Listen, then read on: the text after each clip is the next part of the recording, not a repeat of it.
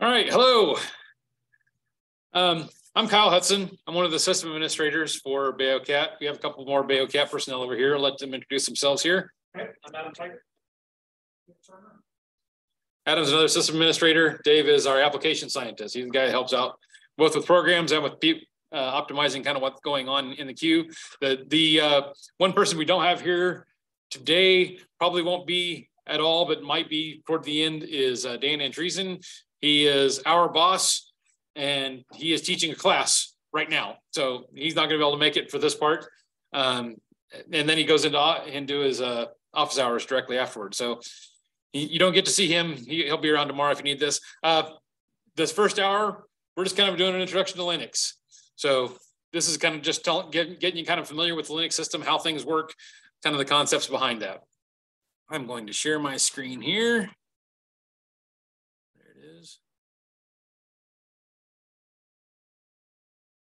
And I'm going to do something a little different than we've done before in the past. And that is I'm going to run all this thing through a web browser. I'm on a guest machine here where I don't have all my tools and stuff like that installed. So I'm just going to show you that it can be done. We can do this with nothing more than a web browser.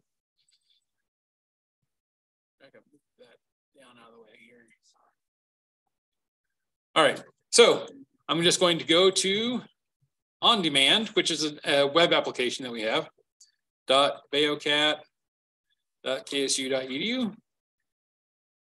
And it's going to have me sign in with me, my EID and password.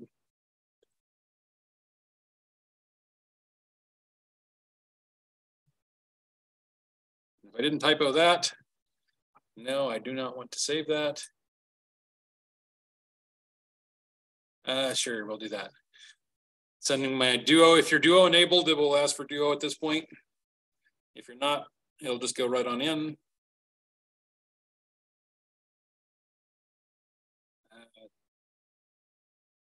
Yeah, because I'm on this machine. All right. And we are to on demand. On demand is a front web front end to our system. We can do quite a few things here. Uh, turn that off. Um, we can go to any one of the head nodes themselves. There are several app web uh, applications. We can start here. Uh, Mathematica, COMSOL, some of these interactive things. RStudio tends to be a real popular one. We're going to go through some of these things a little later on.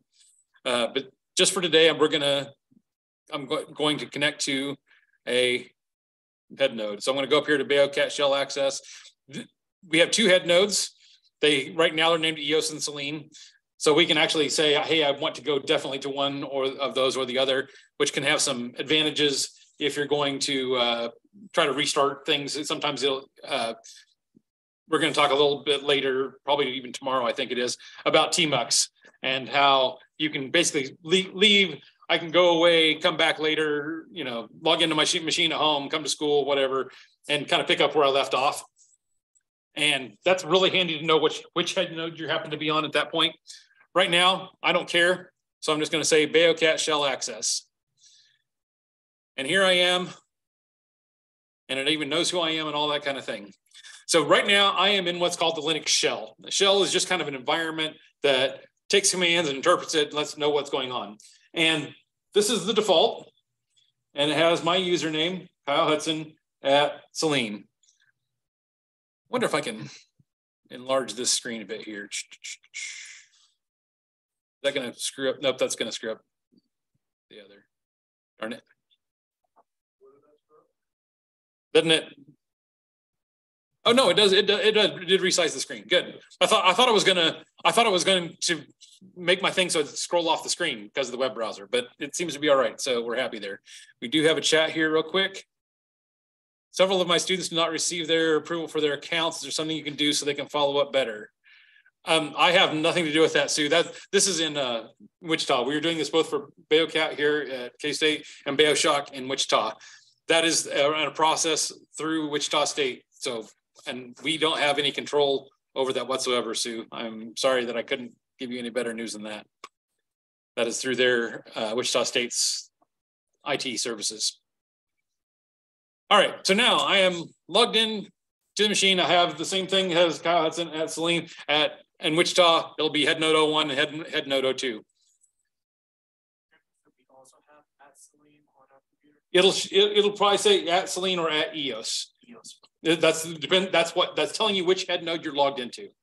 Even though I chose the same. one. Yeah, I, I chose. I I said Beocat. Yes. Which is going to randomly select one of the two. Oh, okay. We only have two head nodes. Yeah. If you say Beocat, you say I don't care which one. Just sit, put me on one. Thank you. Or you can choose whichever one individually. Sure. All right. So the first thing you'll see is that we, I have this little squiggle here. We call it, technically it's called a tilde. And that means that that is a shortcut to your home directory. You kind of have to see how things are organized here. Uh, let me show you through a graphical interface first, how this kind of goes. I can go up here to files and go to my home directory and you can see what I have here. I have a bunch of folders.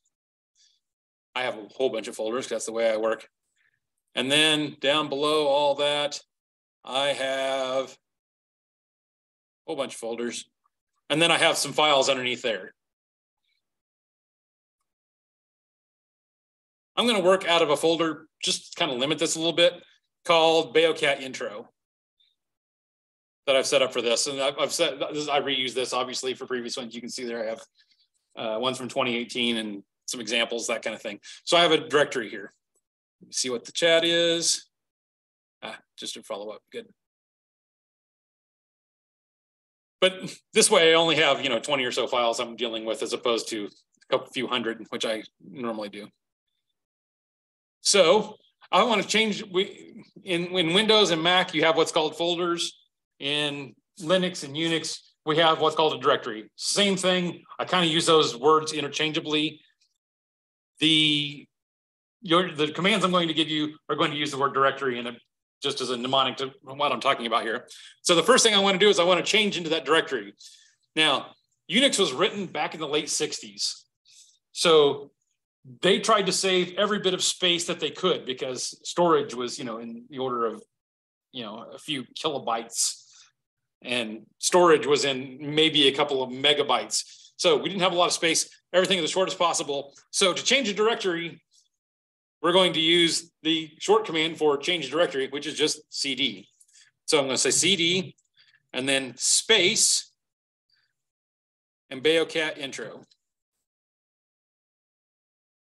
And now you can see that I'm, it's changed my command prompt here to Beocat intro. Now let's see, we want to see what files are in there. I'm going to do an ls, and ls means list, just make a list. I'm going to want to move this out of the way so you guys can see.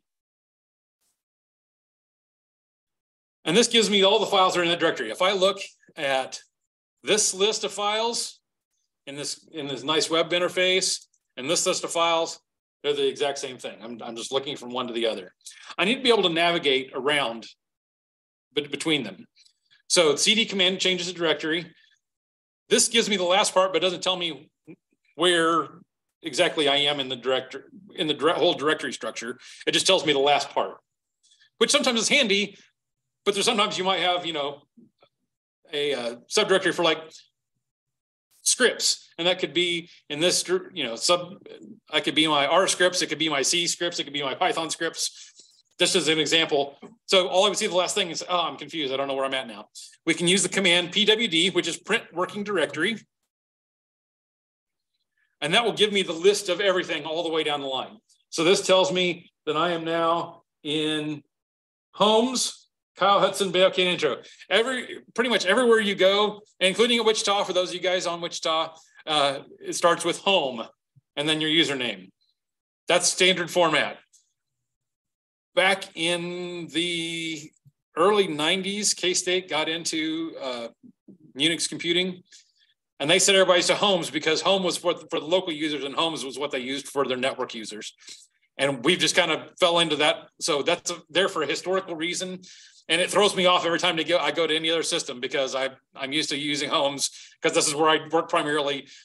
But it's home pretty much everywhere else you're going to go. But So when I when I first log in, I'm in my directory, which is homes, Kyle Hutson. Um, if I wanted to go to Adam's directory, I could say cd space, and now I don't want to go from where I'm at right now. I'm not going forwards from this homes Kyle Hutson Beocat intro. I'm not, I don't have a directory underneath there I'm going to. I want to start at the beginning. So I want to say slash homes slash Moses, which is his EID. Most people, you're not going to be able to look at their stuff. You can look at mine, you can look at his because we have ours opened up to the world so other people can look. And now I can do an ls here and you can see all the files that he has in his directory also. Now I want to go back to my own. Fortunately, there's a real easy shortcut to get back to my own.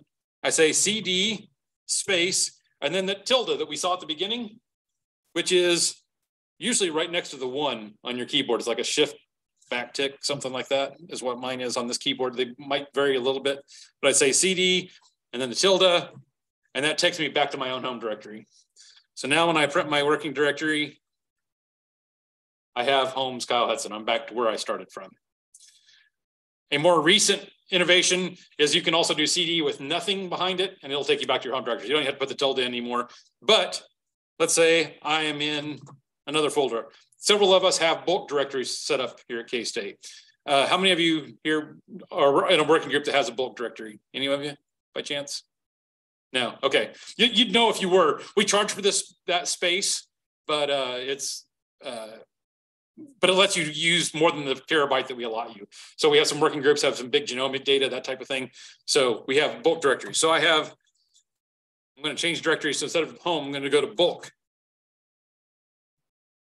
Kyle Hutson. And there you can see I have uh, more files that I have set up there. Now let's say I want to go straight from here into my Beocat intro directory. This is not anywhere even close, right? I'm, we have the root up here, we have homes and we have bulk, we have my Kyle Hutson, Kyle Hutson, and then I have the Beocat intro on the on the one, right? I'm just, you know, trying to visualize how things would lay out in a, you know, if we were printing off all the directories here. We can't access that, right? The bulk one? The book one, no. I well, I, I might have my book open, but generally speaking, no. You you. Right, I just tried. So.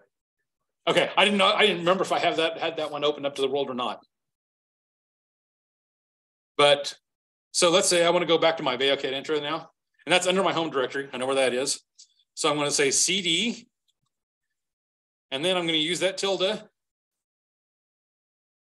slash to separate down to the next one, then the Beocat intro. Now watch what I do here. I'm going to hit, I'm going to type BEO, and now I'm going to hit the tab button. Beocat. So I have multiple things that start with Beocat. Everything, so it says, hey, I know B, B, if you start with BEO, I don't have anything else listed until it says Beocat. So it says, it also fills out to Beocat. Now, if I hit tab again and again, it says, oh, these are the th these are what I have. I have Beocat admins and Beocat intro. Those are my two options at this point. And it leaves me where I was. So I can say I'm going to change that Beocat intro. I hit I, hit tab again, and it auto auto completes. The tab button is your friend if you're if you're using the command prompt. And now I'm back in my Beocat intro directory. If I was to look up here and go back to Kyle Hutson, you would see these same things. You see that Beocat and Beocat admins Beocat intro, and that's why it would let wouldn't let me go any further than that. If there's only if I typed Beocat I all by itself and hit tab, it just say yes, I know what that is, and it would autocomplete. So the tab is is a is a good thing to know for for getting in and out of uh, for for looking at not only directories but files also. Uh, pardon? Or commands. Or commands, yes. Um, for instance, uh, I should have yeah, let's look at OMP hello. So if I do cat OMP underscore H, and I hit tab, it auto completes that. And you could look at this, it's, it's a little C program. It's not very, very much there. You'll see me do LS a lot. It helps me, it just helps me to say, oh, this is, this is where I am. So when I'm at a command prompt and I'm like, what was I doing? LS, oh yeah, that's what I was doing. So I'll, you'll probably see me list my files a lot of times during today. What does the cat? Okay, that we're, we're that that's a good thing. A cat shows is is short for concatenate. So it will show all the files that you list. I only said one file. So when I do cat, matter of fact, there's a couple shorter ones in here. I'm gonna say cat my host.sh. And that's gonna show me what's in that file. And it's only two lines. It has this one and this one, which it doesn't even have a line ending on that one. So it ran my command prompt right after the end of it. Um, okay, let's that that that's a good good place to bring it on is, is to view what's in these files. Before we edit them, we're gonna we're gonna view them. Um, so that, let's go back to that other one that we saw, the OMP hello. And you don't need to know C to know this. This is just example to show how to get into and out of a file. There, uh, long time ago, they said, oh, if I cat like this, cat omp hello.c, ah, that was off the screen. I can't see the top of my file. That's no good. So the solution then is they said, let's make a command called more. So say more omp hello.c. And now it goes through one screen worth of stuff, and then it has more down at the bottom. So there's more down at the bottom. This is 69% the way through the file. You can see that, and I hit the space bar, and then it shows me the rest of the file. And that works pretty well for being able to look through a file. Problem is, I'm now, I get to the end and say, oh shoot, what was that line right above that? So they came up with another command called less because less is more. Programmers have a weird sense of humor. So we say less omp hello. hello.c. And now it shows the same kind of things it did under more, except it tells you there's down here. But now I can use my up arrow and down arrow keys to go up and down through the file. Another handy feature of, of using this is, let's say I'm, I'm gonna look down here. There's command commands here called printf, right? So let's say I'm all the way at the top and I wanna say I'm gonna look for a, a, a print command. So I'm gonna use the slash and a slash says go look for this. So I'm gonna say slash print and I hit enter and it jumps me down Oh, matter of fact, there was one up top because it said, and only prints the total. So it actually see, saw one that I didn't even have. So hit slash again and enter. says I want to see the next step is uh, a next occurrence of print. And it jumps me down here where it says print hello world. I do it again. It found it goes to the goes to the last one, and then it'll cycle back through. No, pattern not found when you get to the very end. So that's how you can look at files. Now let's say I want to edit files. That gets to be a little trickier here because use, there's all kinds of text editors we can use. And I'm going to show you the way to do it through the web interface here in a little bit. But there are a couple of ways we can edit files. Now, if you're going to edit lots of files on Linux systems, I highly suggest that you learn to use a program called Vim, V-I-M. Um, that's, I spend probably half my life in Vim because I work on these systems all the time, every day it is got the learning curve of a brick wall. If you like the most often asked question on Stack Overflow, at least as of like a couple years ago, was how do I get out of Vim? Because it's there is it is non-intuitive completely. However, it's not intuitive, but it's also very powerful. I, you know, you can go in and do a global search and replace. You can reformat things. You can search for strange patterns. You know, I want uh, this followed by some unknown number of characters and something else. Very powerful for that kind of thing. So if you're going to spend a lot of time in it, use Vim. If you're not, and you're just trying to edit a file or two, there's a program called Nano. So uh, there's, let's look at the easier file here because we only, we don't need to see multiple screens.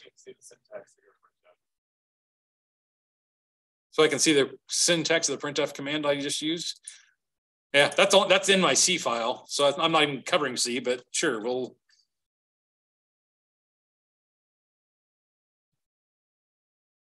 There's my printf. For How do you get out of plus? uh, Q. Sorry, I should have said that.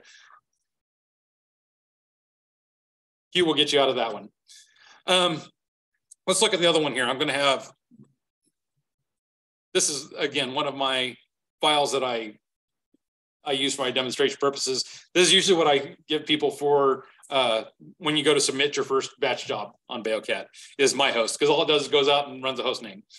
So a, a shell file, which is what I, what this one is, is just a bunch of these commands strung together. So if I wanted to do, you know, change directory and then cat a file, whatever, all these kinds of things, you just put them in a file all together, and that, that's called a script or a shell script. So that's what we have here. We have cat myhost.sh. Again, really tiny. It's just one single line that tells it that we're running this under shell, another one that says I'm running hostname. But let's edit this file now. I'm going to say nano myhost.sh. Nano is a quick and easy uh, text editor on, on Linux. Will it be a problem if I try to enter the same file? while following? Uh, not, not if you're doing it on your machine. You won't be able to write to my file. So if you tried to write my file, it would say you don't have permission to do that. So feel free. you won't be able to. Um, so here's here's the file, and you can see now. One thing you've noticed: how much have I used the mouse? None, because the mouse has no effect on what we're doing here. Yes. Pardon? Use Emacs. Yes, and that's fine too. Uh, We have that installed. I'm not an Emacs guy, but uh, good for you. Emacs is a nice little operating system if it just had a decent text editor. Um, so th this this is a this is a very easy text editor to use. It's not you can't do a whole lot with it other than just arrow around and do things. So everything I'm doing here, I'm using arrow keys. I'm not using the mouse at all. If I click the mouse over here, it doesn't change to where I'm at. I have to use the arrow keys to go to the end. So here I'm going to add another line to the end, and I'm going to say sleep 3600. So these are commands that uh, I'm, I'm again, I'm just doing two commands in a row. I'm running the hostname command and sleep says, don't do anything for for however long I tell it. 3,600 seconds is an hour. This is a good example if I say, hey, look, the program's still running, even though it's not really doing anything. I just say sleep for an hour. Just hang out, don't do anything. Now that I have this here, I want to save this file and exit it. So you see these little uh, carets over here. These are shortcuts using the control key. So if I had multiple pages, I could do control V for the next page, control Y. I have to look at the bottom for everything except for exit because that's all I ever use Nano for anymore is for is for showing examples like this. So I'm going to go control X to exit it. And it asks if I want to save it. And I say yes. Ask for the file name, but defaults to the one you had already. And we're done.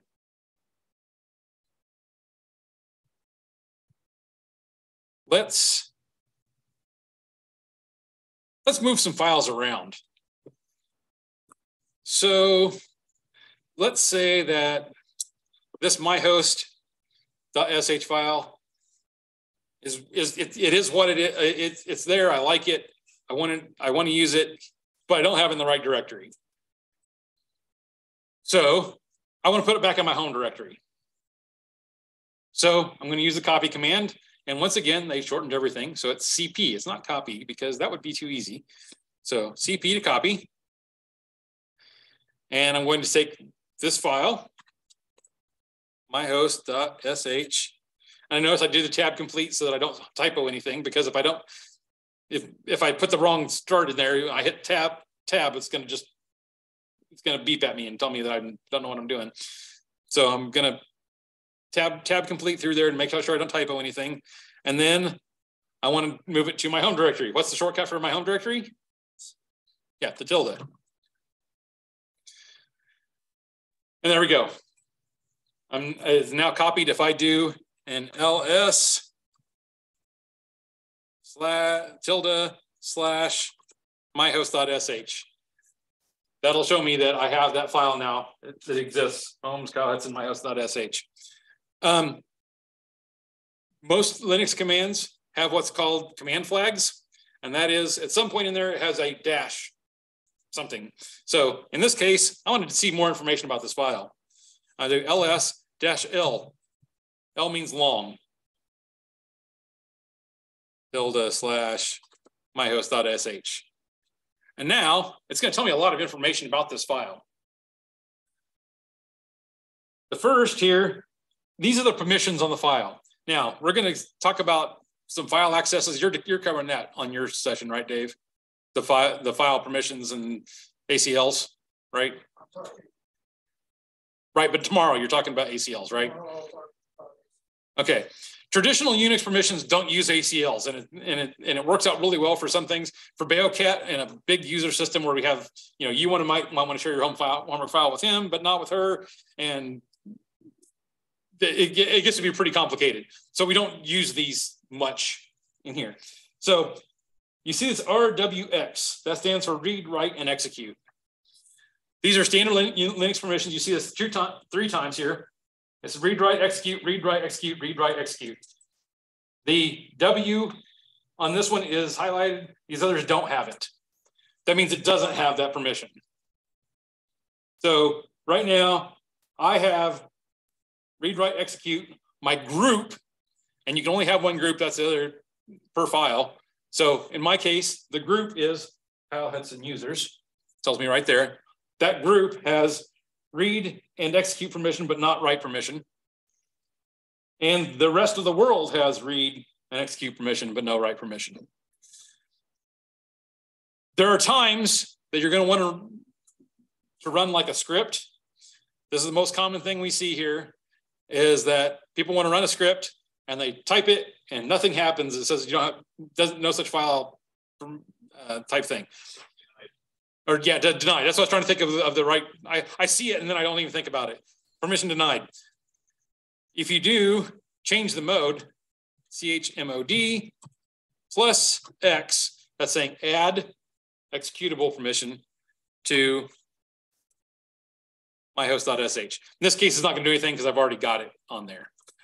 But I could say chmod minus x. And now, if I look at that same file, you'll see that the execute permission has been taken off of there. So as opposed up here, I still have read write, world still has read, or group still has read, world still has read, but nobody has execute permission. So now if I was trying to run that command, let's first of all run the command that we have in this directory. Because if I do this one, ls-l dot slash my host, dot means my current directory. So current directory my host sh. Yeah, would help if I didn't typo it. You'll see this one, and, and you notice it's also in green. That tells me also that it's executable. So the one in my current directory, in the Beocat intro directory that I'm in now, it does have uh, execute permissions on there. So I can do dot slash myhost.sh. And it tells me it's, it ran the command. It tells me I'm on Selene, and now it's waiting that hour that I told it to. I want to quit that, so I'm going to control C. If I want to run the one from the that I put in my home directory that doesn't have execute permission, I'm, I'm going to say tilde slash myhost.sh, and there you'll see it says permission denied because I don't have that execute permission on there. I'm going to arrow up. This is another handy piece of information. If you arrow up and arrow down, that'll go through the previous commands. So I'm going to go back and I'm going to chmod and put the execute permission back on there again. And now I can run it and it's doing the same thing. Now I've decided though that I don't want it there after all. I, I like the one in the Beocat intro directory. I don't want things clearing up my home directory. So I'm going to remove the file. So that is rm tilde slash myhost.sh. And now, if I do the ls up of the previous one,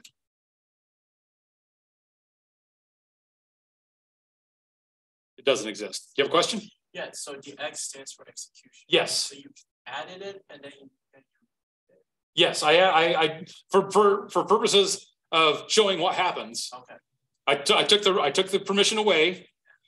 And then I said, and then I tried to run it and I saw it doesn't work. I had to add that permission in. That's probably the, say, that's probably the most common thing we see. People try to run scripts and it says permission denied.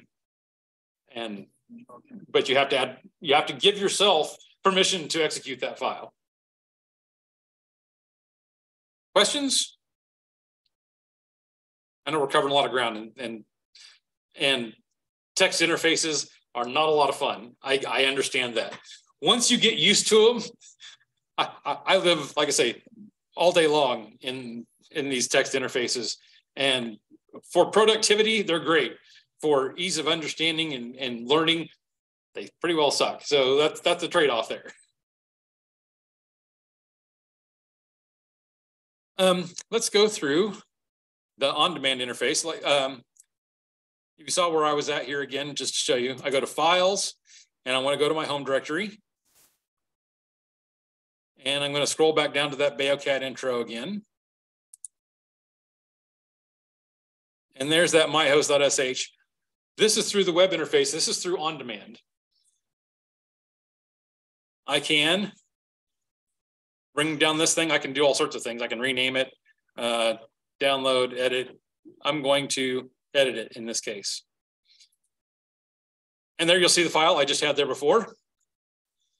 I want to take that sleep command back off. So I highlight that. This is the one I, since I'm using it in the web browser, my mouse works, all that kind of stuff. Whatever I want to do, you can interact with it a whole lot easier. Um, I click on the save button again. Close that file out. And now, if I look at this file again, cat myhost.sh, you'll see that it's that sleep command is off the end. And now if I try to run it, it, it entered, see how it entered it? And then it just came right back to me. It didn't try to wait, not waiting for anything. Have I completely bored and lost everybody? Because I know, like I said, this is, there is no good way of going through this. Dave, hush. So I'm, I'm, I copied your, my Uh-huh. organization to my home directory. Uh-huh. And now I'm trying to run it. okay, So to run it, you do. do dot slash, because, okay, that's a good, that's a good point, right here. If I do, if I just type myhost.sh, which was what you normally do to run a command, right? It says command not found, right? That's probably what you got. I'm gonna try to- yeah. Right, because that's not a command. It doesn't know where to look. There is a- what's called a path here, which is good. I was, I, I have a list of like topics I want to cover. That's why I keep looking at my phone. Um, and one of those is the path. So if I do echo dollar sign path, all in uppercase, this is where it's looking for files for me. Um, I added a couple of things on there at the beginning that you're not going to have. So I think yours by default will probably start with this, the user local bin, user bin, user. Should default that. Uh, The, the, The default accuracy, does it? Yep. I thought I had to add that. Okay. or at least the default one is something you may have added. Okay. But, Yeah. So, so I have a directory that I keep my binaries in, Kyle Hutson bin, and that's, that's one of my few that's not world readable on my system, or at least not most of the files in there anyway. So that's, that's where it's looking for files. There's nowhere in here that has Beocat intro on there, right? So if we want to run something that's outside of this, we have to give it the path to that, to the file we're trying to run. So when I want to run myhost.sh, Which is in Beocat. which is in Beocat intro right now. Yeah. I have to, I can do it this way. I can do slash homes, Kyle Hutson, Beocat intro, myhost.sh. And it ran it. Now, as a shortcut to that, I don't have to type all that stuff out. I can say current directory, which is a dot, single dot, dot slash myhost.sh, but you have to be explicit with it. So you say, I want to run one in this directory. I am in my homes, which is where the copy of your file is. Uh-huh. And you know, when you do the tab to autofill, Uh-huh. it doesn't want to do that. I will stop this. Is it executable? Yeah, so chmod Yeah, space plus X. And then the file name, and I bet it then you, I bet it works then. yes, thank you. Okay. Um, you can add to your own path. You can, you can say, uh, path, I have to export, right? Export path equals, um, I don't want to erase what's out there. I just want to add onto the end. So I say path. That's the previous path. And then, uh, dot. And now when I look at my path, you'll see dot. So now I can do my host.sh because current directory is in my path. That's not saying home is, if I was go somewhere else, it wouldn't work anymore. I generally don't like doing this. I like to make it make it explicit that you have to uh, that you're running from the current directory. Um, there's another nice little uh, command says which. So if I say which myhost.sh, it's going to tell you it's running this one. If I say which host name, it's going to tell me it's in user bin host name. That's that's the actual command that it's running, and it's basically going through this this whole path. So it's going to look and look in the first one we have here. It's going to look in Holmes Kyle Hutson bin and see if there's a my host name there, and there's not. So then it's going to go to op Beocat shared Beocat scripts, not there. Uh, user bin? User local bin, not there. User bin. Hey, I found it. So that's where it's to. That's the order it's going to run it in when I went to do my host, it says it's not here, it's not here, it's not here, it's not here, it's not here, all the way to the end, and finally got to the end and said dot. Yo, yeah, that's the one I'm going to run.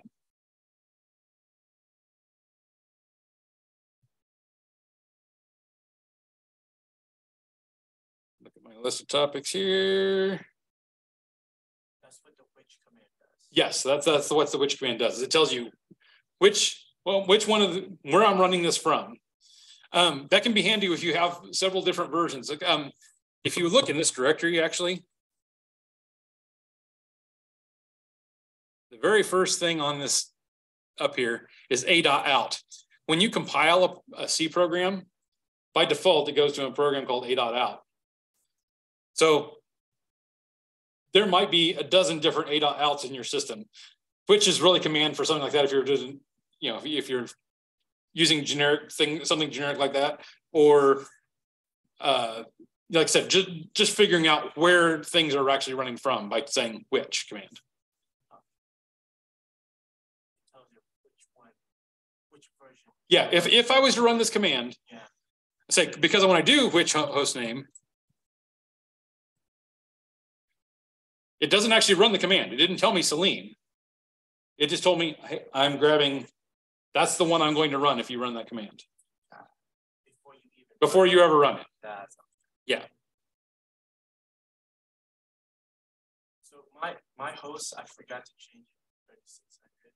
So like, how do I get out of it? Oh, that means you're that means it's still running, right? It's still running right now. So it's still running. That's easy enough to do. Control C will will uh, pretty much cancel out of pretty much everything you got to do.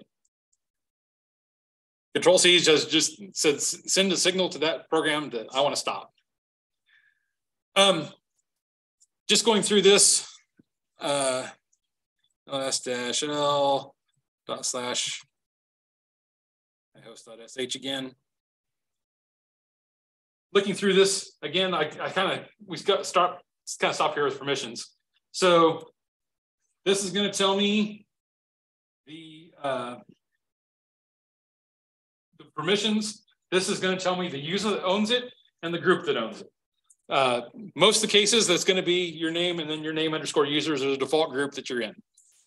There are some people on campus that are in project groups, and those you might have that listed as your prod as, as your project group that you have that in, especially if you're dealing in like bulk folders and things like that, which we already discussed. Nobody here even has that in this classroom, but there might be somebody on on Zoom or somebody watching this later that that has that. It'll also tell me the date and time that it was created. So if we look at these uh, up above, oh, and file size. this is 17 bytes. So you can tell how big these files are. And and when they were last edited. So I have one here. This is back from our old system, a QSub file. That's how we used to used to do this. So um, so we have everything from 2013 on up to file we just edited today, which it doesn't even give the year on that because it figures it'll give you time instead. Um, again, the switches where you can do, I, I said L is long. I can do L H for human readable. And now, instead of telling me how many bytes it is, it'll tell me it's 577K bytes. That's really useful when you get strings of numbers that are this long. You're like, is that one megabyte or 10 megabytes or 100 megabytes? How many zeros? H is really handy for that kind of thing. Um, I can also say L A H. A means all the files. By default, anything that starts with a period, it does it leaves the file listing. So this will leave, this will tell me files. Also, we only have a couple of them here. I have dot, which is my current directory. I still told you dot is current directory. That's an entry in every one of these dot. And it tells me I have 841K worth of files in this directory, which is also a useful thing to have. That doesn't work universally. And as a matter of fact, at Wichita, it does not work. So anybody's on Zoom or uh, watching for the Wichita Wichita State system, their file system doesn't work the way ours, ours does. So that won't, that part doesn't work for them. But it also tells me that when I go back to the directory, dot dot is a command is the reference to the command directory ahead of mine. So that's my home's Kyle Hutson without the Beocat intro. And I've got 162 gigs in there. I'll probably trim that down a little bit. Got a lot of files there. Um, if we were to look in my home directory, you would probably see a lot more of these. There is there are files that are created uh, for you all the time. And I'm not gonna, well, I'll show you what they are. I won't show you what the contents of them are because a lot, a lot of times they put hidden information in there, uh, things that are specific only to you. So we don't want people mucking with those. There might be some some password kind of things in there. Mine I know are shut off right, but I but just to show you. So I'm going to CD and do ls dash lah. Now that's going to be a whole bunch of stuff, right? What command would I use to to uh, to look at parts of a file? to look at, I, I don't want to see all those files. If I do this, I get, and I see the last little bit. I don't want to do that. Less. Less. Now, that, but here's the thing. If I do less, what file name am I looking at? Oh, that's tricky one, right? See? So we have what's called a pipe. And this is one of the most powerful things that Linux does is it, lets you take the output from one file and put it as the input to another file, or to another, one command to the input to another command. So I have this ls command that I want to run, but I want to send it to less. So I want, instead of the output going to the screen, I want the output to go to less. So I'm going to use a vertical bar. And that says, take the output from this and send it to the input of this. And now you can see all these, all the uh, files I have here. And you can see some things that you wouldn't be able to see from my ls command before because I start with a period. There's a .ansible directory, for instance. Dot .ansys.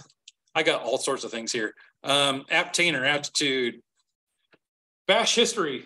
This is a really interesting one. If you look in this file, you'll see all the all the commands that you've run. That's how it knows when you up arrow and down arrow. If I was to log out, log back in, it would remember that from a previous session because it saves that in the bash history. Um, bash profile those and bash RC, those are files that are run automatically when you log in.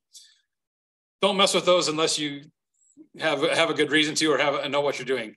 But there are things that we can do. Um, you can see a, whole bunch of, of, of, of, files here that start with, with dot.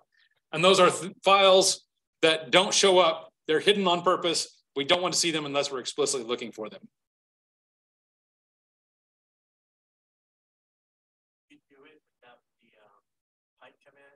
Yeah, all I see is that much of it. Because I, it, This even with less. huh? yeah, well, right, because I can scroll up. That's through my web browser. I, I'm scrolling up.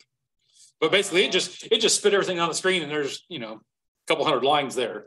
They just spit down the screen. It's okay, you get to see this much of it because your screen's not ten feet tall. When I'm working with my normal desktop, instead of seeing this many, I'll probably see, you know, fifty lines or so.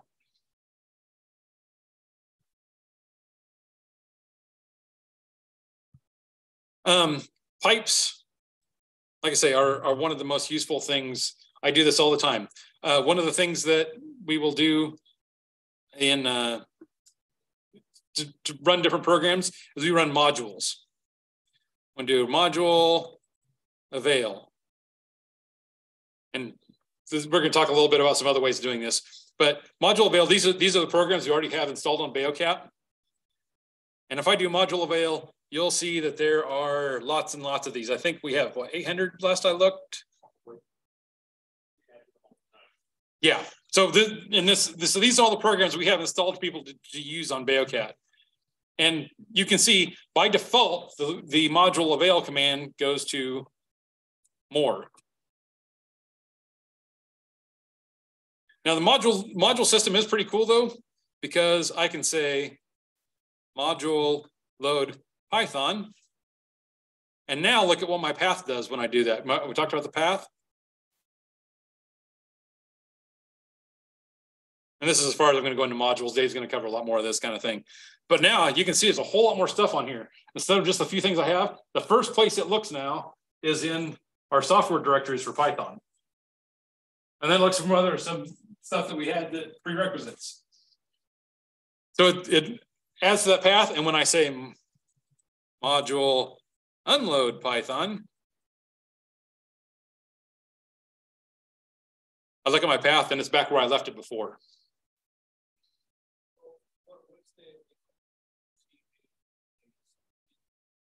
To see what? Module avail. Module avail. Like I said, I think Dave's gonna go over that in some detail probably. Anything else you really talked about? Pipes, filters?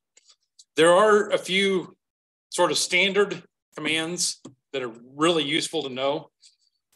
And I don't expect anybody here to become an expert in them here in this class. It takes some uh, some working with them. Uh, Beocat intro, there we are. So we saw, we'll take that uh, that print command, for instance. If I wanted to see what's, if I wanted just to look in that file and only look for those print commands, I can use the grep command. Very handy. Uh, the the name is some obscure something regular expression in print. So it's like I can give it a pattern of give it a strange pattern and say go through this file and find it. So I can say grep uh, print in MPI example.c because we saw that file earlier. Oh, that was OMP hello is the one we used, wasn't it?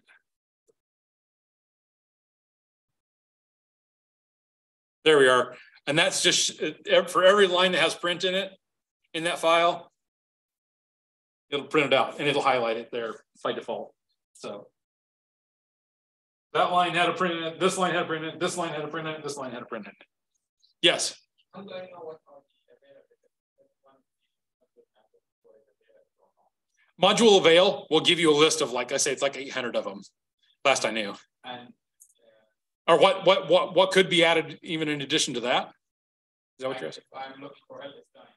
Okay, okay, that's, that's, that's a good one, actually. So I'm gonna do module avail.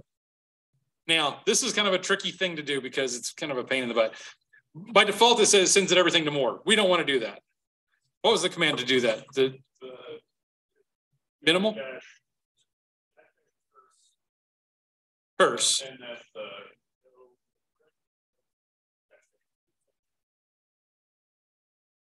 I'm gonna do it the way I normally do it because this is the way I, there, there is a way that you can tell it to do this automatically. I'm gonna show you the way I do it. Your output, your output goes to what's called, we have three, we have three devices we look at a lot. Standard input, which is your keyboard. We have standard output, which is your screen. We have standard error, which is also your screen, which makes it kind of tricky because we have to say, ha have to differentiate between the two.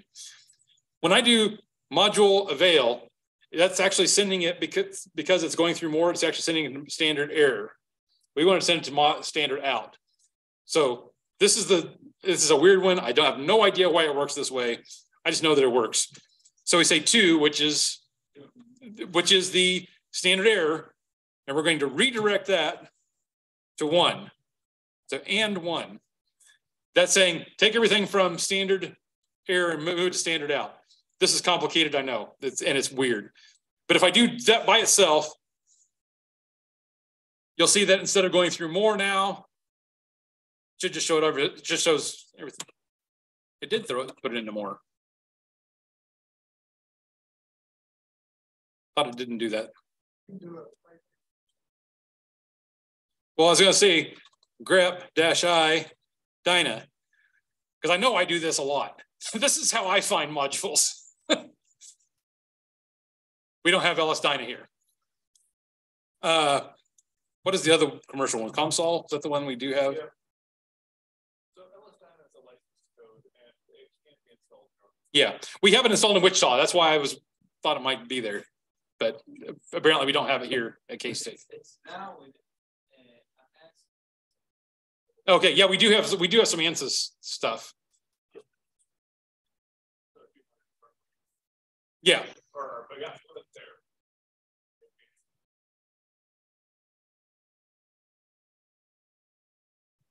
So what that does is that says, yeah, look, look for those lines that contain this. grep dash I means case insensitive. So I told you everything has the switches. By default, it's case sensitive. If I say dash I, makes it case insensitive. So I said, module avail, look for those 800 packages for lines that contain COMSOL in a case insensitive manner. So there's your COMSOL. All, all the lines that contain COM, COMSOL in there. And I know it's confusing. I, I get that. It took me a long time to wrap my head around this. I, like I said, I'm not expecting anybody to be an expert on it, but I want you to know that it exists. And if you look at our support site, we have several examples of, of what to do and how to, and how to make this kind of work for you. Uh, because module avail is kind of a pain in the butt. You to module there, it's got. If you have a web interface that actually shows all of the modules that you have installed, then searchable. Um, Here's link our documentation. Uh, there's a search bar up there, you type in Fluent or Ansys or whatever, it would pull that out. There we are. It was hiding behind that. It actually searches through the description for Ansys or what, whatever, you know, so. There you go, it if this module is available, because the versions we have. Actually, I do need to get something like that set up. for each one. It's not there. but- Okay. Have to go in, play it, Uh, as long as you bring your own license. Yeah, we don't have licenses for it, but we have the software installed for it. So you have to point to your own license server back in your department or whatever. Yes, we do, we do that a lot. We do, we, we move, we say your license is over on this department server, you'll have to get the name and the port and all that stuff from your department people. But yes, we can use it that way. If you need a version, we can work. Yeah, we can, we can work with you if you get more versions on if we need to. Yeah. With that, we're ready to take a break here, give you guys a, a quick bio break. So come back and want to start right at three thirty, Dave? You got a full hour? Do you want to go ten minutes from now? Okay. Five minutes and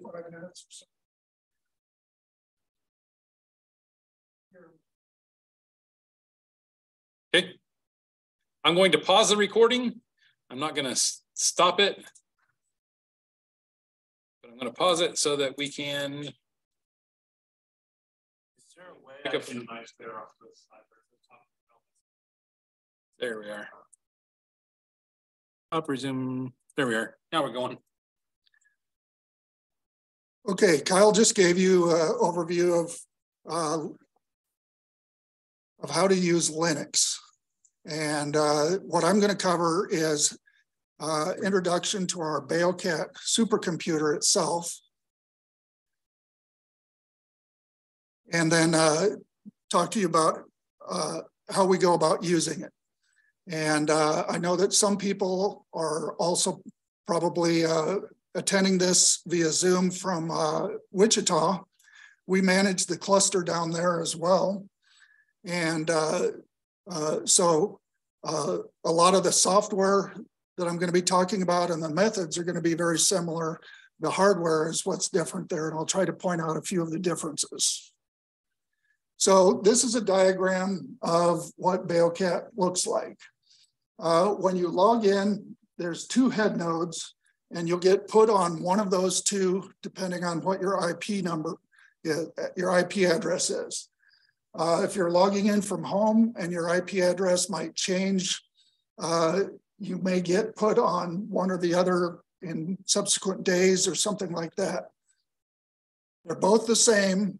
It really doesn't matter which one you're on. Uh, the head nodes are there to allow you to uh, get your jobs ready to run, move files around, compile codes if you need to, and things like that. Uh, they are CentOS machines, just like the compute nodes. They give you access to the Slurm scheduler. So the Slurm scheduler is then how you run your codes. Uh, once you get them ready and get a job script ready, you will submit that job to the Slurm scheduler, tell the scheduler what resources you need, and that Slurm scheduler will then decide which compute node, which are at the bottom of this diagram to put it on. Uh, on Beocat, we have about 10,000 uh, Intel or AMD cores on over 350 compute nodes. So that's somewhere around uh, $3 million worth of hardware. Uh, this is where BeoShock is going to be different. Uh, BeoShock has a I think, 20 compute nodes, and there are 36 cores each, if I recall correctly. The, uh, most of these are Intel cores or Intel processors. The AMD systems we have are these ones in red on the left called what we call warlocks that uh, might have up to 128 cores. Uh, most codes, when you run or compile them and run, will run fine on either one of those. So you don't really have to worry about that. There's a few that would have issues with one or the other, but that's a rarity. Um, one of the things that we uh, get asked a lot is, why do we call this a supercomputer? It can be called a cluster computer because it's a cluster of workstations. Uh, supercomputer kind of describes it as well because it's better than just running on a laptop or PC. Uh, a compute node, I said we have 354 compute nodes on Beocat. A compute node is a computer in itself. Uh, it can be just like your laptop or your desktop machine. Uh, it's just usually a lot more powerful. Uh, your laptop might have four or maybe eight compute cores. And again, I said that some of these uh, new AMD systems could have as many as 128 compute cores in one system. The memory is also typically much larger. You might have 16 gigs uh, in your laptop, for example, uh, where these compute nodes uh, could have 128 gigs, and we have some that have one and a half terabytes of memory. A terabyte's a thousand gigabytes. So we're just dealing with a lot more powerful computers here, uh, but there are similarities to your desktop or laptop system. Another thing that makes a, a supercomputer super is the uh, network connections. Uh, we provide 30 to 100 gigabit per second links between each compute node. And I have a couple uh, of the technologies listed as InfiniBand and RoCE. RoCE stands for RDMA over converged Ethernet. You really don't know, need to know what those mean. It just means they're very fast and they're low latency. Latency is the minimum amount of time that it takes to, to uh, send even a small message. And in the case of InfiniBand, it's about a microsecond to send even a small message from one computer to another. And again, we're uh, sending large amounts of data at 30 to 100 gigabits per second. That's somewhere around a thousand times uh, the communication rate of your uh, in your internet access at home. I have T-Mobile 5G internet at home that gets me up to uh, 50 gigabits per or megabits per second. And again, we're up uh, in the gigabit per second range uh, for our communications between nodes. So about a thousand times faster than your home internet access. All these are also connected to a petabyte file server. A petabyte, does anyone here know how much data a petabyte is? Okay, a petabyte is a thousand terabytes and a terabyte is a thousand gigabytes. So it's a lot of storage and we have it mostly full. Scientists have uh, unlimited ability to fill up whatever disk space you uh, provide.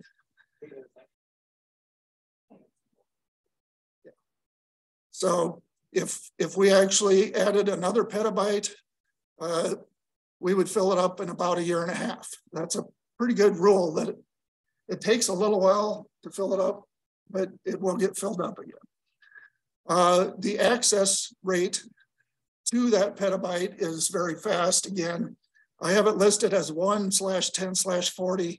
We have some machines, the moles, that have only one gigabit per second uh, access, which is still pretty good, but we got a really good deal on those and we don't have as fast of an uh, access to the file server, but everything else is 10 to 40 gigabits per second, uh, very fast access to the file system.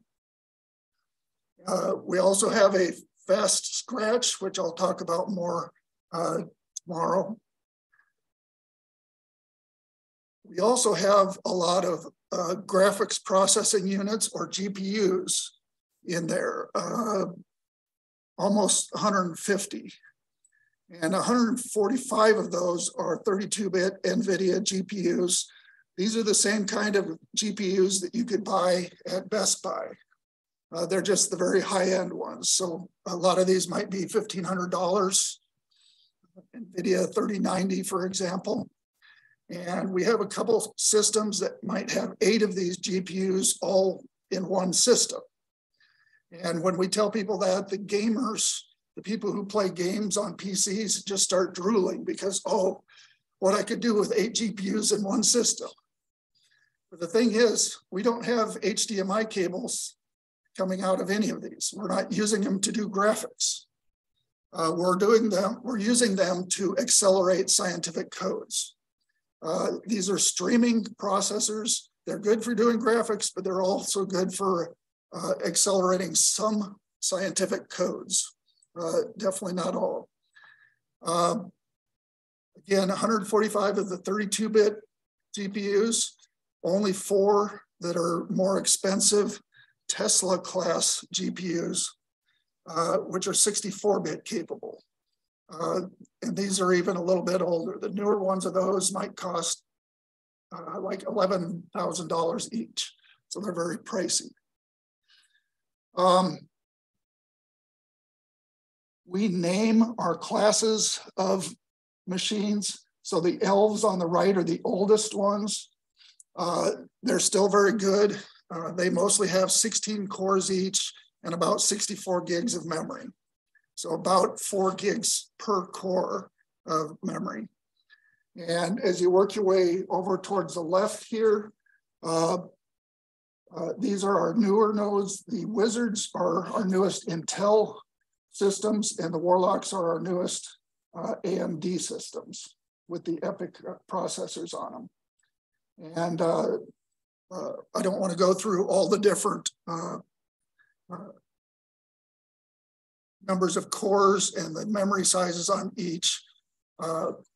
when you submit a job to the Slurm queue, what you want to do is tell it, I need this much memory, this many cores if it's a parallel job, and it will go out and find a matching compute node from that and say, hey, I have room on one of the dwarf nodes for that. So I'm going to go ahead and start that. If it doesn't have room, then your job will sit in the queue for a little while. Okay, so Kyle kind of introduced our group a little bit, so I'm not going to go through this too much other than introducing that here's a picture of Dan Andresen, uh, our director. Uh, I'm the application scientist, so if you have problems with your job, uh, your getting your code optimized or parallelized, I'm a good resource for that. Adam and Kyle are our system administrators. Uh, if you have any problems at all, you want to email Beocat at cs.ksu.edu. That gets to all three of us.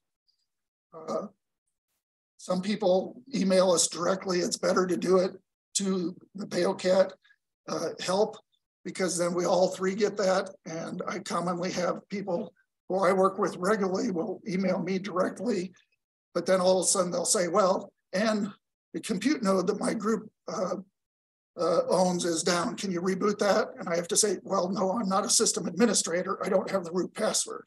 So if you send it to, if you send the email to the support uh, email, then it gets to all three of us and we can help you a little bit better. Uh, okay, does everyone in the room at least have a Beocat account? Is there anyone that doesn't? Okay. Okay. Adam can check on that if you give him your EID. So I'm not going to spend too much time on this because this is all in our documentations. Uh, if you need an account, you go to the documentations at uh, beocat.ksu.edu and you just do a get an account and follow that. Uh, and it will get, uh, uh, you'll have to go and Dan will have to approve this. And once he does, then your account is created and you can log in. Getting in from a uh, an Apple system or Linux is a matter of opening up the terminal and using SSH to get in. I give you an example here of how I would get in using SSH. I put my Beocat username at beocat.ksu.edu. And uh, you can get in that way. If you are faculty or staff, then you have a uh, multi-factor authentication. So uh, I'll talk about this more tomorrow. Uh, so anytime I SSH in, uh, I get a message on my phone that I have to approve uh, my access. So I'll talk more about that tomorrow. If you're on a Windows system, we recommend MobaXterm because uh, MobaXterm gives you a terminal interface. It also helps you to uh, transfer files pretty seamlessly uh, between your Windows system and Beocat. So if you're editing files on the Windows system and want to push it down, that's MOBA term is actually pretty slick with that. Uh, you certainly can use PuTTY is another common one, but then you have to S copy things down manually or use something like FileZilla. So you have to use two different things. Yes. Do we choose the portable or install Kyle? Um, it doesn't really matter. Uh, if you, if usually I would say use the installer version unless you can't. Like if you're installing on a lab machine, they wouldn't let you do that. Similar but it's not a big deal on that.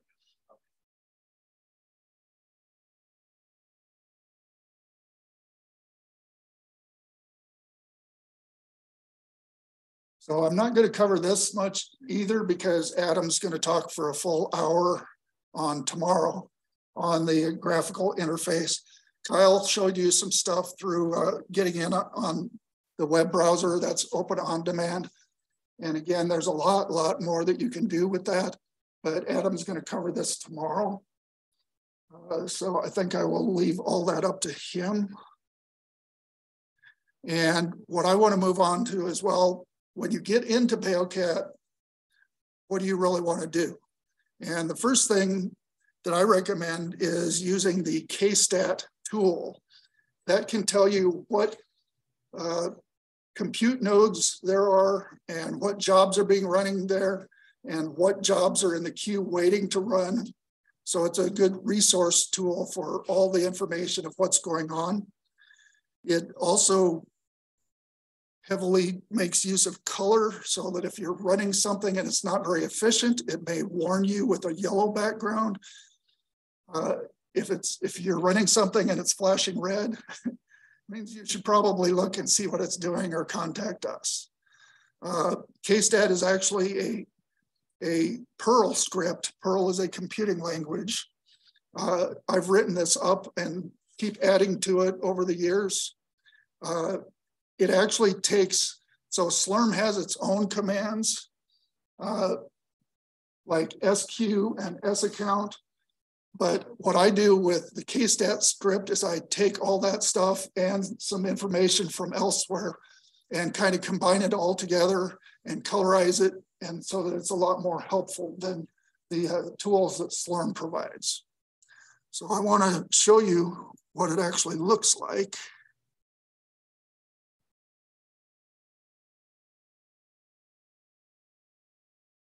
Yeah.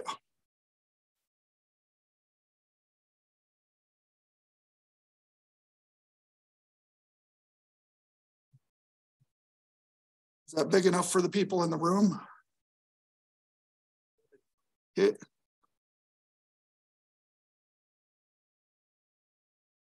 Shrink my window down first.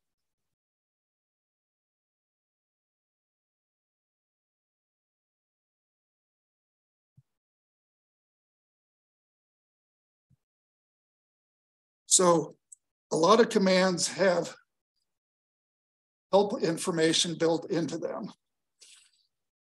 Uh, that I did that wrong.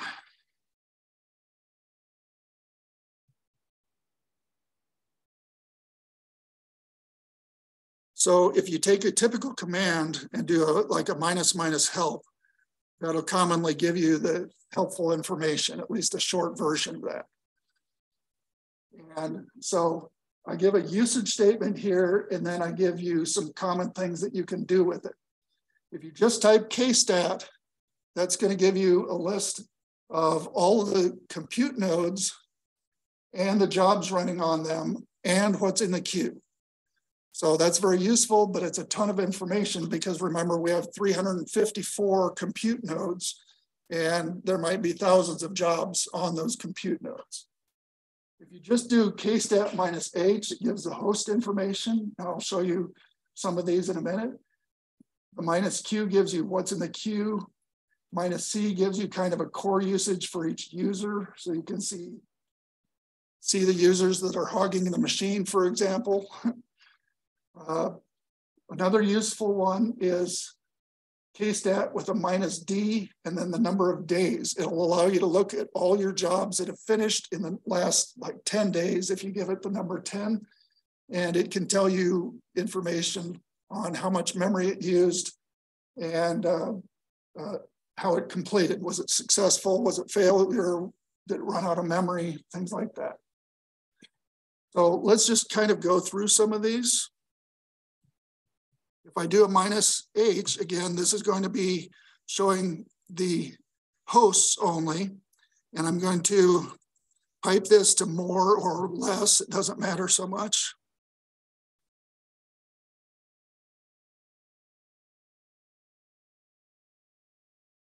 So it starts with the oldest machines, which are, which are the elves, and then it's going to run through to the newer ones. And let's just look at some of the uh, what's colorized here. and I'll try to explain things. If we look at ELF 7, we see that there's nine of 16 cores. The number of cores are in cyan or light blue because it's not totally full. If you look at ELF 8, they're in a darker blue, meaning that that compute node is, is full. All the cores are used. If it's red or yellow, it means it's empty.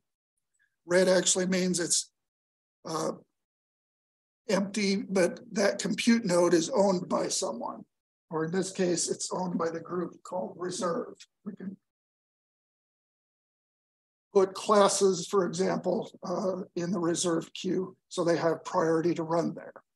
Anything that doesn't have a group on the right in orange means it's unowned. Anyone can use it with the same priority. Uh, if groups have contributed money to buy compute nodes, they get priority on those compute nodes. You can still run there. It just means if someone from that group wants to run, it'll kill your job off. Your job automatically gets put back in the queue to run on uh, a different compute node, but you have to wait longer than if you don't uh, uh if you don't uh, own or have priority on an owned compute node. So a lot of the ELF nodes are unowned. Uh, so what does the yellow on ELF 7 mean? The load level is one, even though uh, there's nine cores being used. So that's not really good. Usually if you have nine cores being allocated, you would like to see a load level of nine. Sometimes it's actually higher than the number because you can run multiple threads on the same core. But this is an indication that something is wrong. Someone may be running, uh, someone may have asked for nine cores, but be running a job that's not multi-core capable, for example. So this is something I would look at and, and see, maybe contact them and say, hey, uh, you're not using that resource efficiently. So that's where a lot of the colorization can come in. Uh, here again, it says uh, this compute node is down and it's not responding. That's where Adam or Kyle would look at it. These are like nine-year-old machines. So they might look at it and say, well, we're going to say that one's dead and not revive it anymore. See, Adam's smiling. He, he likes killing nodes off, okay? I want to run him forever. He likes killing them off, so.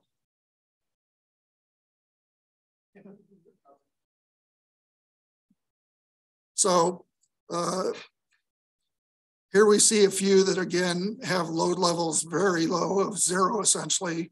They're allocating one core, but running a, a little to nothing. So again, when I get to the, uh, when I when we get to looking at the queue, there's probably stuff in the queue waiting to run, but we have idle nodes. So why is that? Well, anymore, a lot of what's in the queue is asking for a fair amount of memory per core at least, either more than these can handle or uh, more per core than we can handle. The other reason that these might be idle is because these are owned by groups now. Uh, you can see Jake Comer, Jeff Comer owns these. Uh, any of you can run there, again in killable mode, but only if you submit a job that takes seven days or less to run. We don't want you to run too long of a job uh, because if it gets killed off, then it wastes that time. So yes. Uh, yeah, if you have money. So the, an the answer to that is on your home directory, you have one terabyte. So uh, that's free. Uh, if you need to go over the terabyte, then you set up a bulk directory and you have to request that and you have to agree to pay $45 per terabyte per year, is it? Yeah. And you get billed monthly. So there, that's where the petabyte comes in. There's a lot, you know, if you want to store 100 terabytes on there, there's access to that, but it is going to cost you money. Per, per terabyte. Now, Trying to make it on par with the cost of buying a USB drive off the shelf of Best Buy, because otherwise we don't want people rather than use our stuff. so the other thing is we do have scratch space. Scratch space is available to anyone, uh, but it gets gets purged every 30 days in the case of fast scratch. So it's a place to, uh, while you're running a code, you can pre-position data, but while you're running a code especially, there's lots of space there, but just realize it's it's gonna be deleted if you don't move it back to somewhere else after you run. Uh, 30, 30 days for fast scratch. So we give you a fair amount of time. And I think we have like 270 terabytes in fast scratch. So let's just, so you can see there's uh, a lot of actual room open. Yeah, our total utilization is very low at the moment, 20%. So uh, yes, the answer is a lot. It's, it's ownership of his data is a little questionable.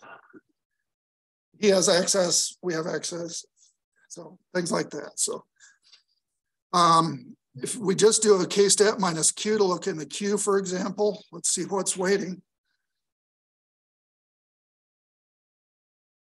Okay, so not much at all. And uh, one person there has waited for five days uh, but they're asking for 248 gigabytes of space and eight cores. The other thing is they're asking for a 552 hour run, which is more than one week. So they aren't going to run on any of the nodes that are owned by other people. You could also look on the right side there and see their, uh, they do have priority in the groups for the Kim ChemMRI and Christine Aikens. So uh, they have access, priority access to those compute nodes.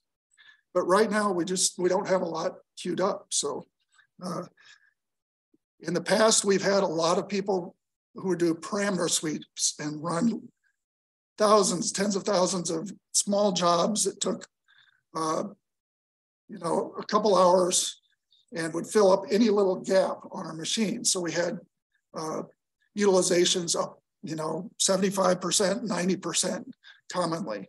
Uh, more recently, we just have fewer people doing that. We have people asking for lots of memory. Okay, so let's move on.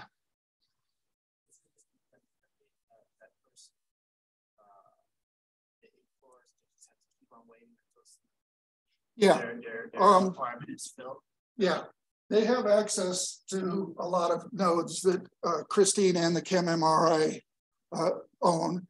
They understand that when they ask for this much memory, it's usually a, significant weight. So the scheduler tries to do a fair share. somebody came in for this and, did have priority for both Christine and MRI, asked for a similar amount of resources. Which one would go first? It, it will try and. It's trying to space. Yeah. The good news is when the utilization is low, you can get in there and access it unless you ask for these huge runs. So.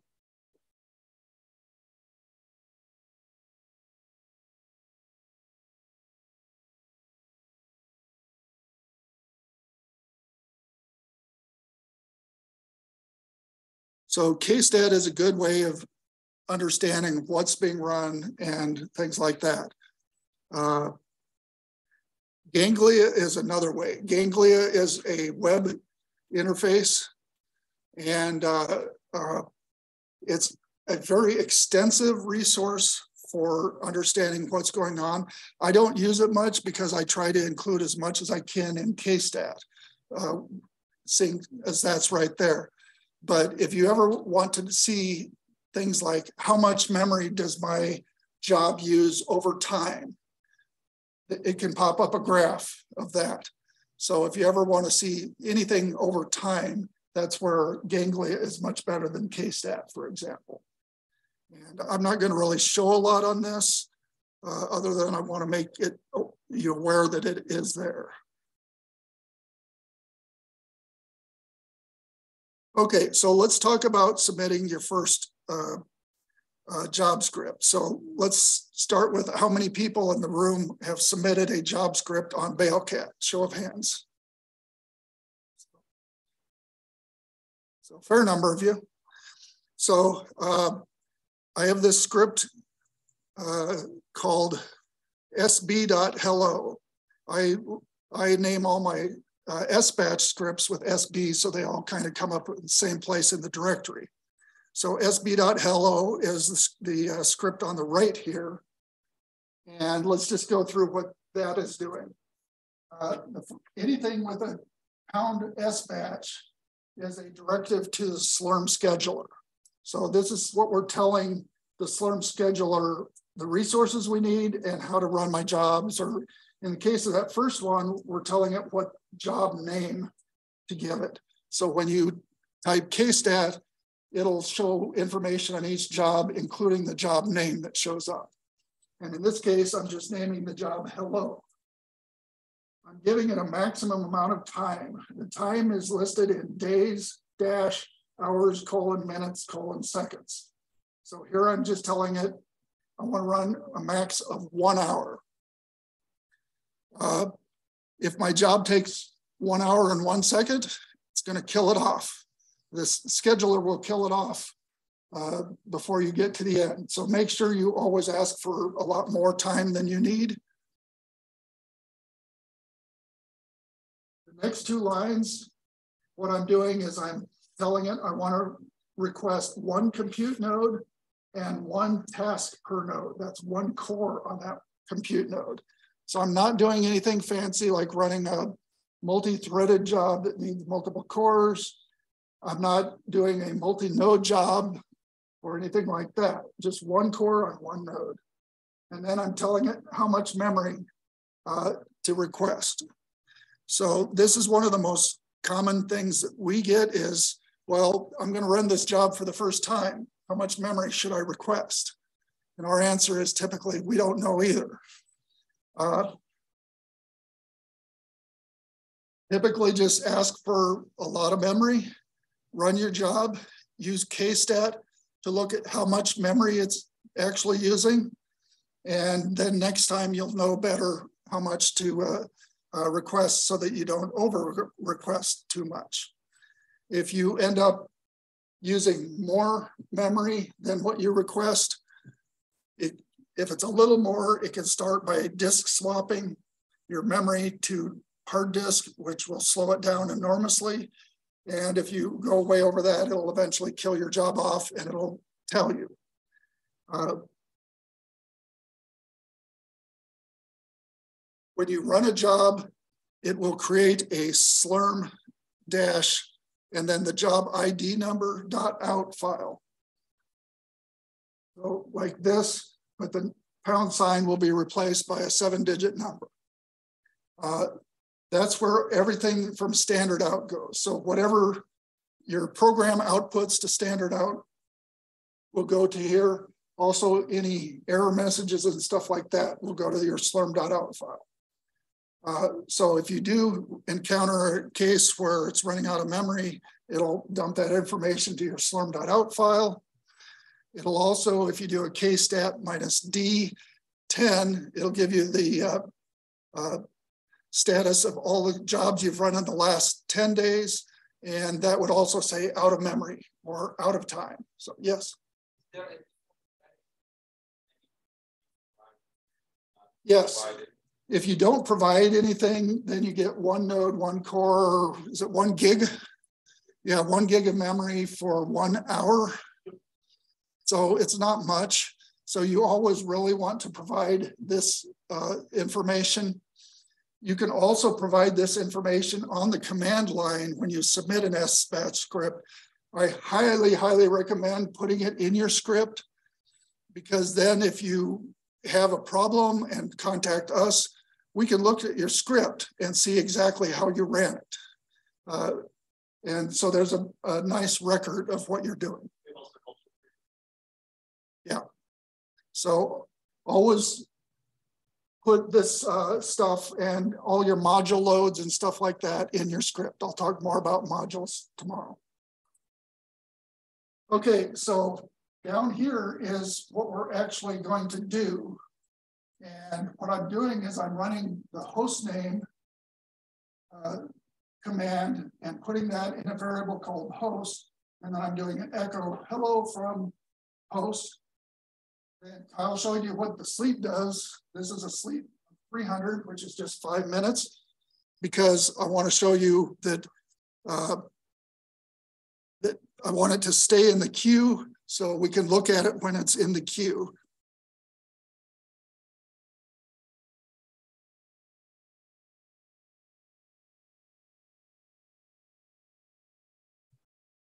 So I'm going to CD to my test directory.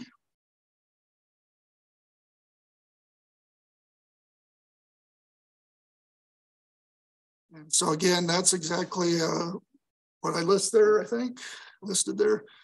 And so I'm going to do, I'm going to submit it to Slurm now by using the SBatch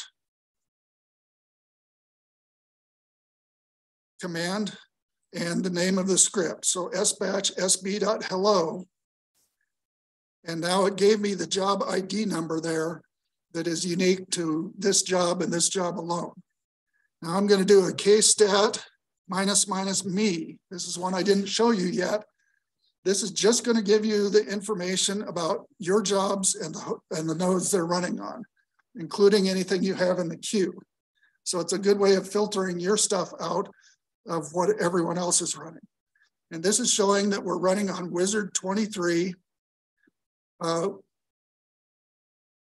it gives the name, gives my username, it gives hello as the username or the name of the program that we're doing. And it says it's running on one core. Uh, the word run is in green. Okay, green means that I'm running on a node that I have priority on. If it was red, it would be in killable mode. Someone could come along and kill it off. I'm in this priority group for CS high performance computing. So uh, I have priority there. That's the, that's our group. That's Adam and Kyle and Dan. assume Dan's in it. He doesn't use it. So anyway, so this is one of the nodes that we own or have priority on.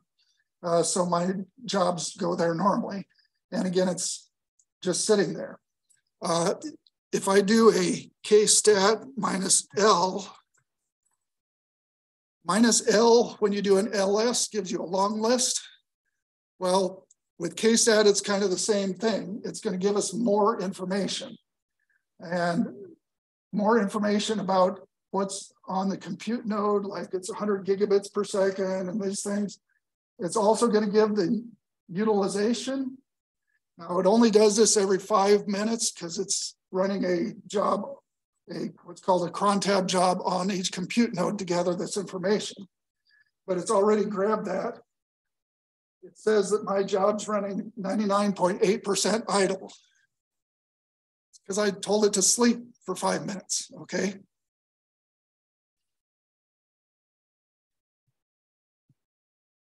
So since I want to kill this off now, if we just let it run for five minutes, that's fine. It'll kill itself off or it'll finish. But I can use scancel and the ID number to actually cancel that. Then if I look for my jobs, it should show me that I'm not running anything.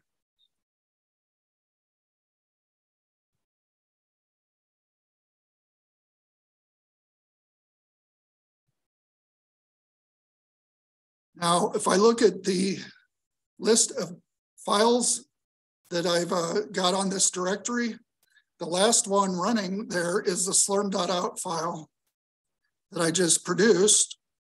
So let's cat that. And it says that it was canceled, but it says hello from Wizard 23 first, which is what we printed out. Then we sat in the uh, uh, sleep statement and I canceled it out, it says that it was canceled. If I do a kstat minus minus B minus D1 to look at what I've run today, then it says I've run one job called hello on Wizard 23, one node, one core. I didn't use up any memory. I only asked for four gigs. It ran for two, two minutes, 47 seconds, and it says cancel. So this is a good way of, uh, if you don't know what happened with your code, it's a good thing to use kstat minus d to see if it's, you know, if it's finished up, it can give you some information too.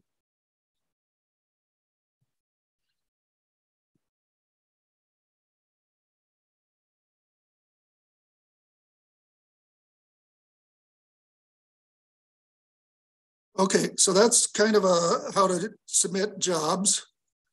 Uh, Kyle went over some of this. Uh, a lot of the most common scientific packages are already installed for you as modules.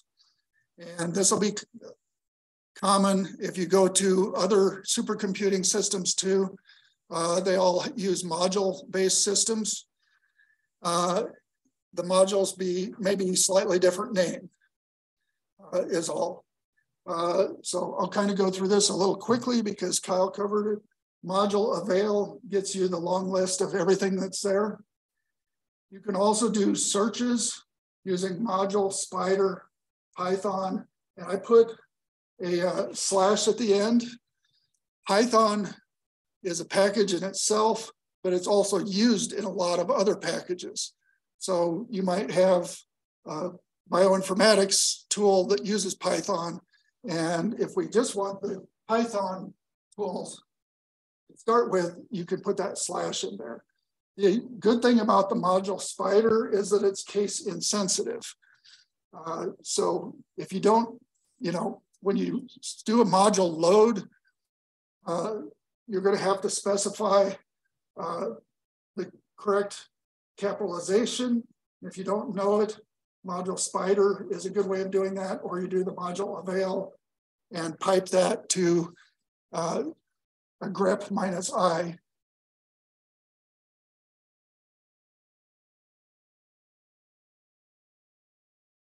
Uh, Adam or Kyle, can you look at the question? So when you get to using modules, I always recommend starting with module purge. That clears out all your module systems. In my bash RC file, every time I log in, I have it load certain modules for me uh, that I use commonly. But uh, when I run things, I want to clean that out and load in the systems that I need and go from there. Uh, if you load them in when you're on the head node and submit a job, those same modules will be available to your code that's running in your job script. But it's still good to put these things into your job script so that it's repeatable each time. So you know exactly what modules you have loaded. So when we look at it, if you're having trouble, we know what modules are loaded and things like that. So in a script, if I'm using Python, for example, I would do a module purge, module load. Python will give you the default version. That's usually not what you want with Python. You usually want to specify a specific version for Python because you have to match your virtual environment. And do that. Uh, you also want to, if you're loading multiple modules, you want to use the same tool chain. So what's a tool chain? Uh, the main tool chains are FOSS and IOMKL, or versions of that. FOSS is free uh, open source software. So this is the GNU compiler and such. IOMKL is the Intel compiler. MKL is the math kernel library that goes with it. So, but you also, if you're loading multiple modules, you may need to match up some of even the version numbers to get some codes working. Uh, so if you don't find software package that you need. Ultimately, you're responsible for that. Uh, so installing that software on your own home directory, but we're always willing to help. That's part of what we do. Uh, it does mean downloading the software, uh, reading through the documentations. Sometimes it's easy to do, sometimes it's not so easy to compile. Uh, the standard way is to configure, make, make, install. Not every package makes it easy to install. A lot of them depend on a bunch of other software and things like that. So the bottom line is we're always willing to help on this stuff. If you have problems, or if you're just starting out especially, we highly recommend going through the Beocat documentation. Uh, there's Linux basics, uh, Slurm basics, Slurm advanced. We'll talk about some file system stuff tomorrow. I want to mention array jobs. Uh, if you're submitting, you know, hundreds or thousands of jobs that are similar, people do write up scripts to do that automatically. We prefer that you use an array job. An array job is a single job script that uh, you can program up to run to essentially behave like, you know, tens of thousands of jobs. It may just be that each one operates on a different input file or a different uh, random number if you're doing uh, some uh, statistical analysis or things like that. So array jobs uh, are fully documented in, in there as well. Getting help, again, I mentioned uh, the support is Beocat at cs.ksu.edu for Beocat. Uh, when you email that, it does get to Adam and Kyle and myself. Give us lots of information, okay? Definitely give us the job ID number or numbers uh, for sure. Uh, the directory and command you use, a full description of the problem. Uh, we commonly get emails to us saying, hey, my code doesn't work. It worked last week. Okay. What do we do with that? We email them back and say, we need more information. So start with giving us the more information. Uh, for those of you uh, at Wichita, the one thing that we really, really need from you is also your EID. WSU ID. EID space dates. There's WSU. Okay. They won't know what an EID is. We need your WSU EID. WSU So ID. WSU ID. Uh, your emails come in uh, not including your WSU ID. So we can't really trace back to your account and so forth uh, without that information. So uh, I will change that. So yeah. So the other thing you can do to help yourself is that if you're running a job, you can SSH into that compute node and run HTOP. Um, I'll just show that briefly because I can SSH into any node.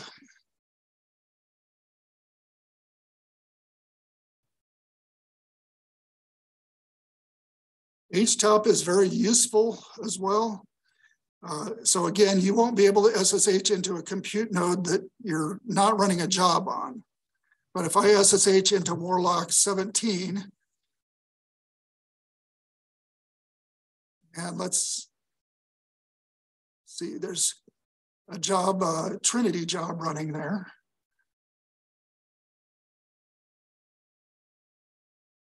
So if I run htop, and then I'm going to type U for user and Q. You can also use the up and down arrow, arrows to choose your user that you want to look at. So I want to look at this one job by this one user. And what I'm seeing here is they've requested a lot of compute cores, but at the moment, the, only this top line here says that they're getting 100% utilization out of CPU number six. So CPU number six is here. They're using that, but all the other cores that they've requested are not being used at all.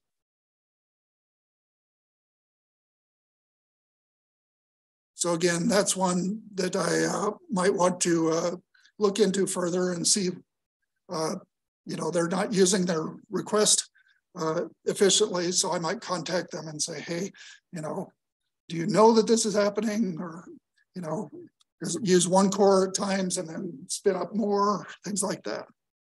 And then I'm going to hit Q to get out of this and exit. But HTOP is a very useful way of looking at uh, uh, your own code and seeing what it's doing.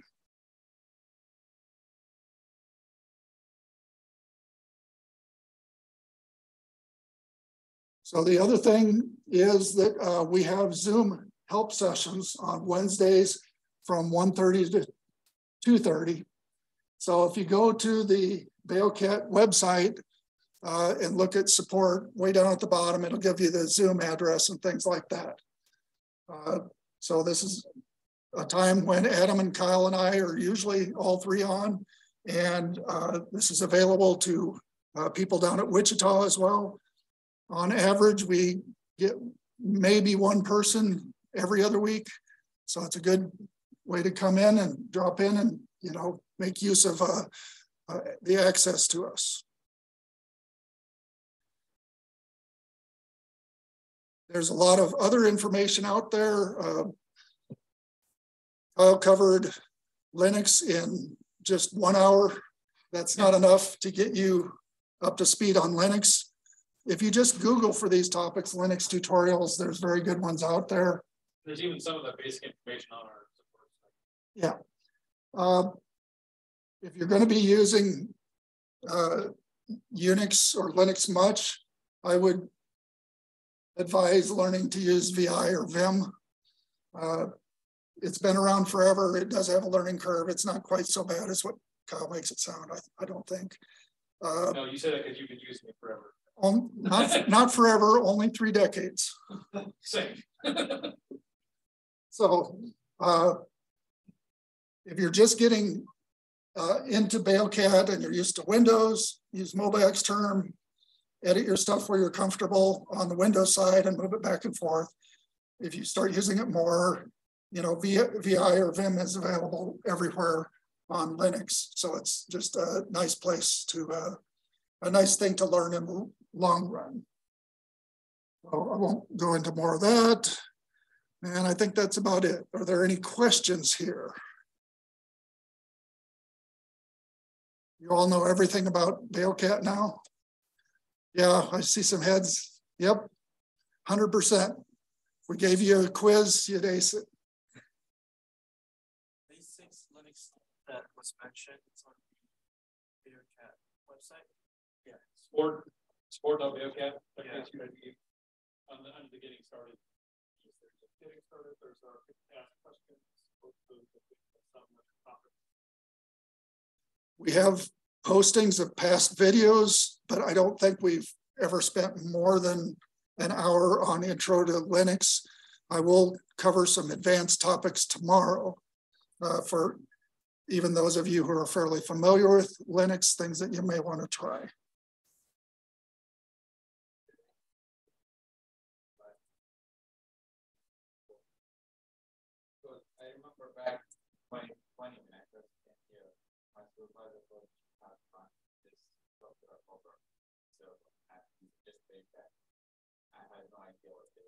Yeah. And then I created my account like stuff, stuff that I don't know what to do with. And I failed. And that's why Okay. Well, hopefully we'll get you started a little better this time. And the big thing is, you know, this is good to come here for the introduction, but if there's still things you don't understand, get a hold of us. Uh, again, the, the we do the Zoom meetings on Wednesdays, but that doesn't mean that it only has to be Wednesday. Uh, if you have questions or if you have lots of questions, you know, if you have a couple questions, send us an email. If you have lots of questions, arrange a Zoom meeting with one of us. I'm more than happy to, you know, sit with you for an hour on a Zoom meeting and go through all your stuff, uh, any questions you have, things like that. Uh, I can't do that with everyone that wants to run on Beocat. That's why we're trying to do a workshop to at least get the basics in. And we ask you to, hey, at least go to the documentation and read through that. We don't expect you to read through every bit of the documentations or memorize it or anything like that. No. So- Okay, And I got my.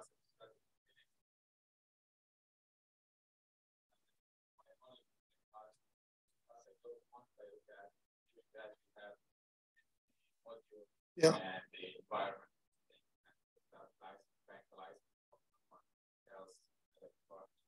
yeah, yeah. Licensing is a pain in the butt, regardless how you do it. That's the, Yeah. there, and there's nothing we can do to make it better. Well, yeah, there is, but they have lots of dollars, lots of zeros on the end of the dollar. I don't have that, so.